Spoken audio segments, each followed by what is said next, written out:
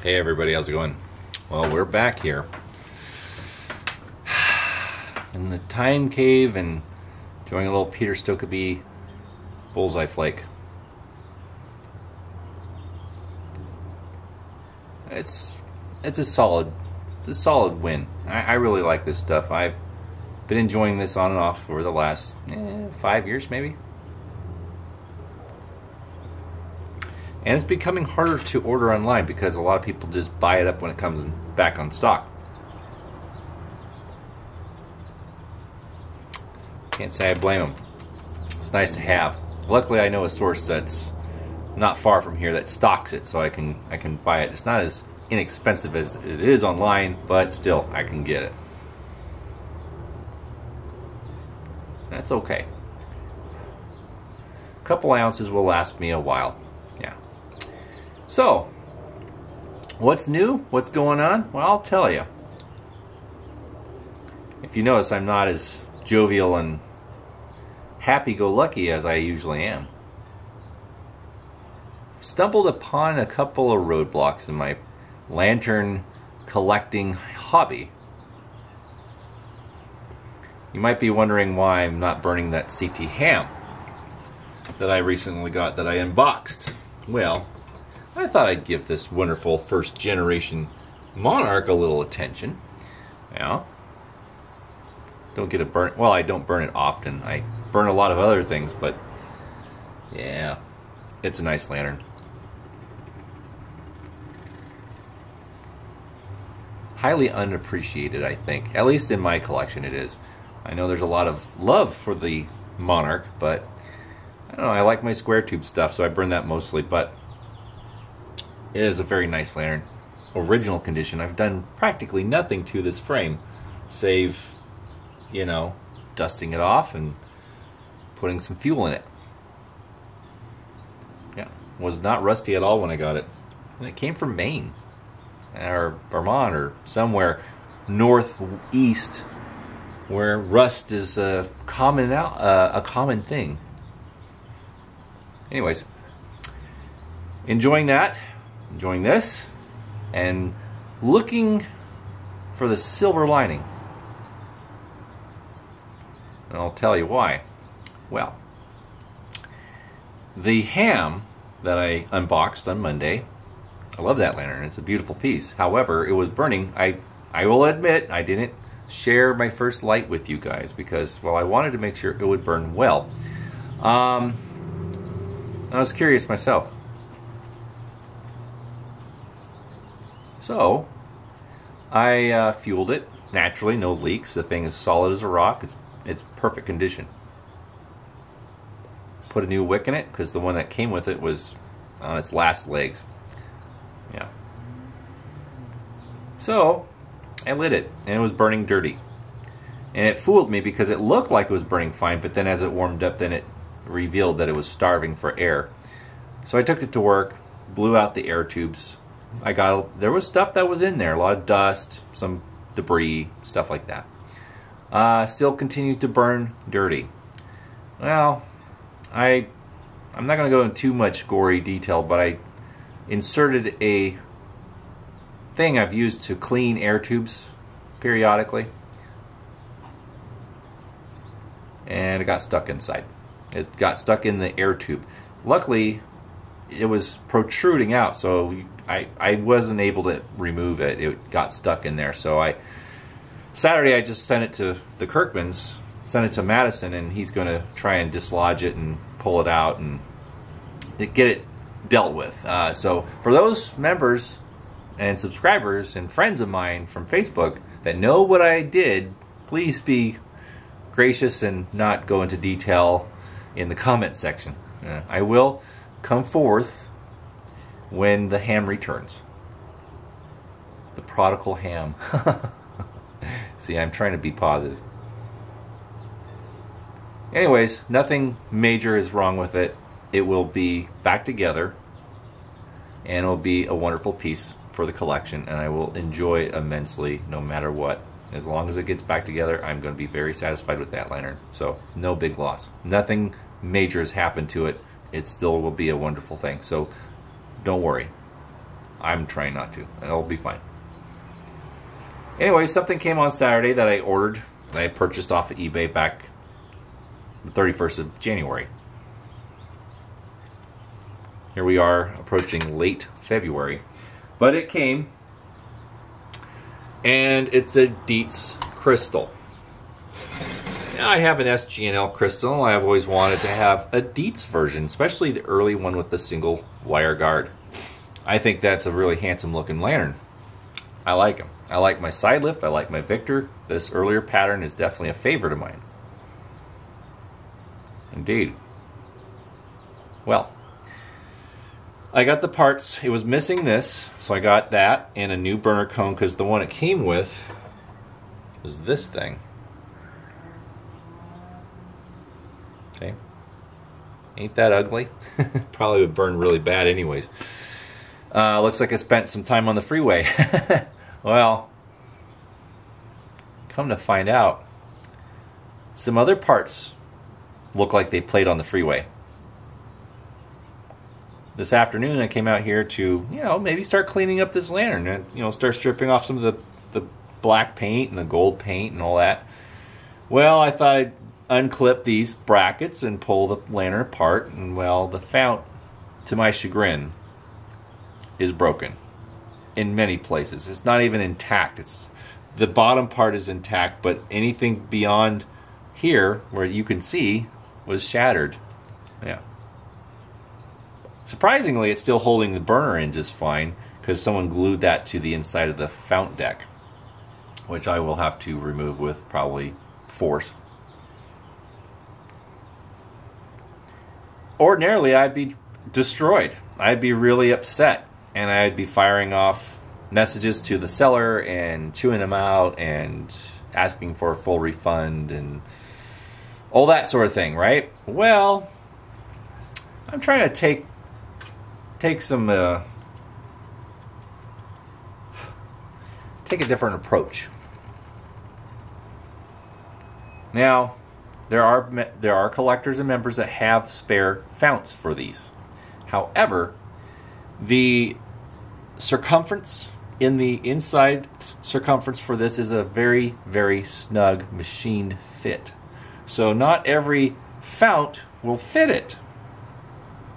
Uh, I've spoken with Woody Kirkman, and he suggested and told me, from his own experience, of course, that the size of this fount deck has changed over the course of the manufacturing of this lantern. Mm-hmm.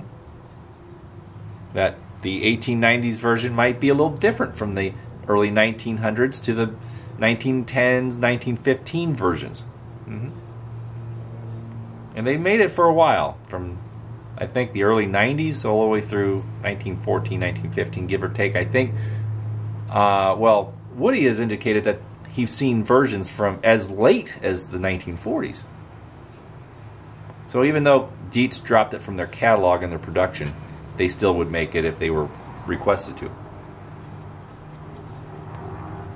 I know for sure that he said that the SG&L version, uh, this is a little different than the, on the SG&L than the Dietz. So uh, Dietz fount might not fit an SG&L. So it's not all interchangeable, although they look identical. So that being said, uh, I hit up the Kirkmans I know that they make a replacement glass fount for the crystal.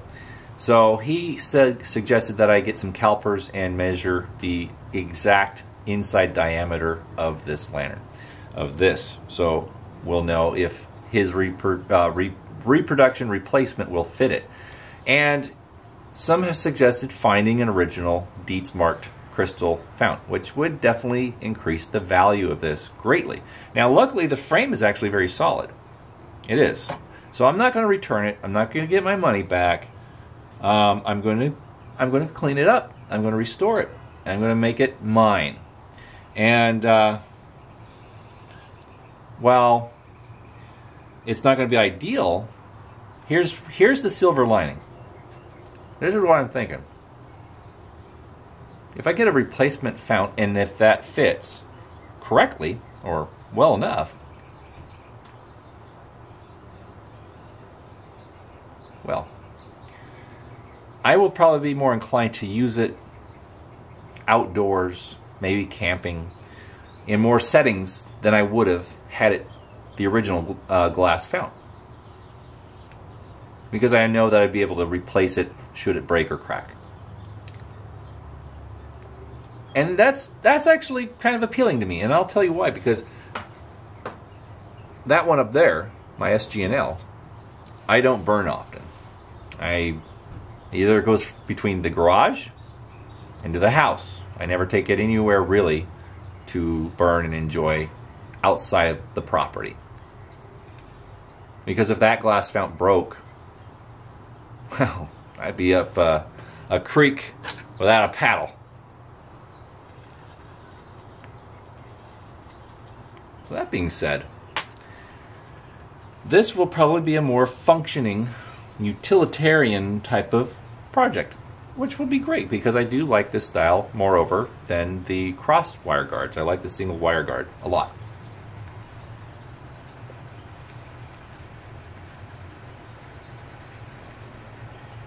So that being said, I think it's going to be great. It'll be fine. Um, I'm going to have it measured so I'll know for sure what the inside circumference is and uh, go from there. Uh, so that'll take some time, but in the meantime, I will clean out the inside and get it prepped. I will clean off all the, the paint, strip it down, and get it to where I want it to be.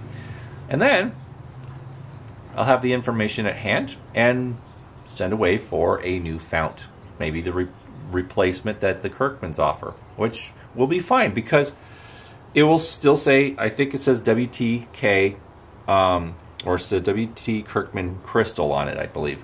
I have to look and check, double check, but if not, if it if that won't fit, then maybe finding another fount for a crystal that will be a genuine Dietz uh, will be the next step. I'll be looking for one, and I know those will will not be inexpensive. I know whoever has a spare on hand, they can ask whatever they want because they don't exist.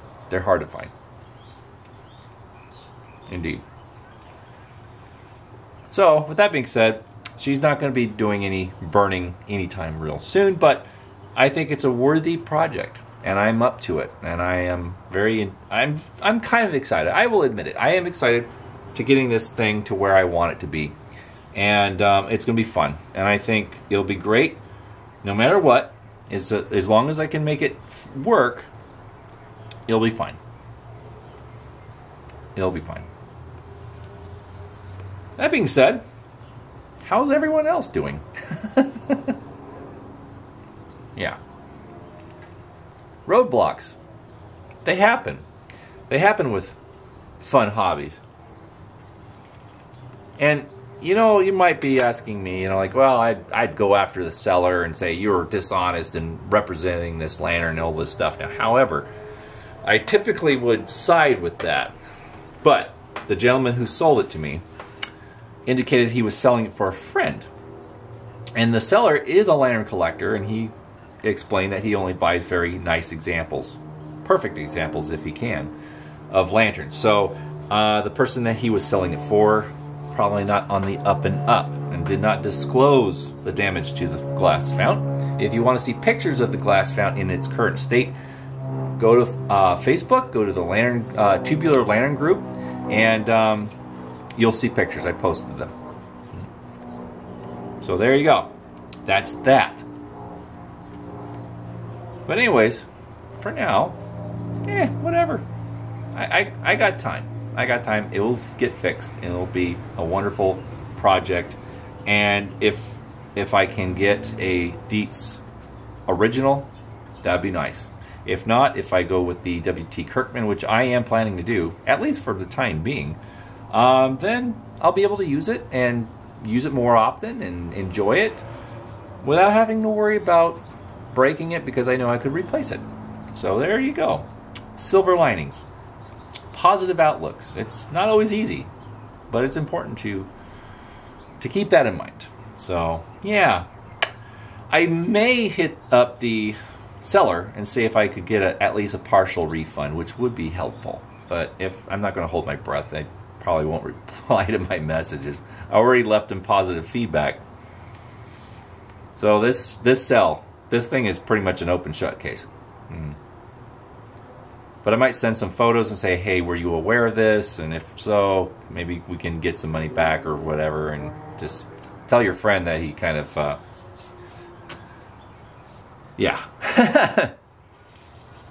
anyway, things will get fixed.